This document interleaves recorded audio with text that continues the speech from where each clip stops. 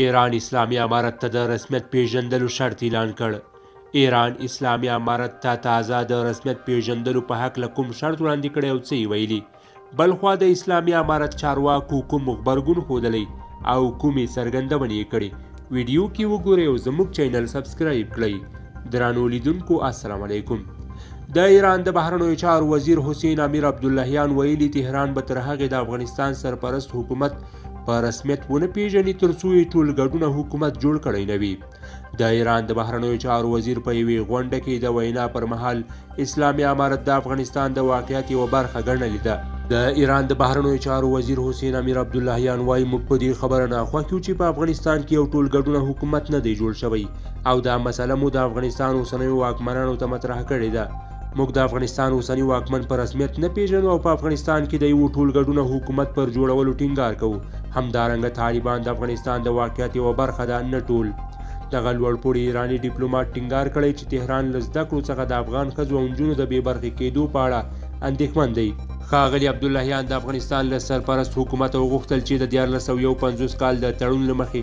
د تهران حقابه ورکړي. د هغه په وینا د ایران د حقابې ستونزه د سیاسي اعلامیو له لارې نه شي حل کېدای. په وینا یې د حقابې مسله باید د قانوني اقداماتو په چوکاټ کې حل شي. حسېن امیر عبداللهیان زیاته کړې، موږ له افغان چارواکو سره په هلمند سیند کې د ایران د حقابې په اړه خبرې کړې دي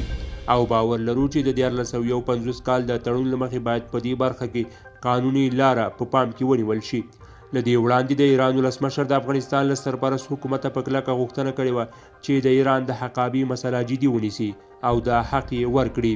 خو انس حقاني چې د اسلامي امارت له جګپوړو غړیو څخه دی، په سپېدار ماڼۍ کې د پنجشنبې په ورځ په یوې غونډه کې د ایران د ولسمشر د وروستیو څرګندونو په اړه غبرګون وښود.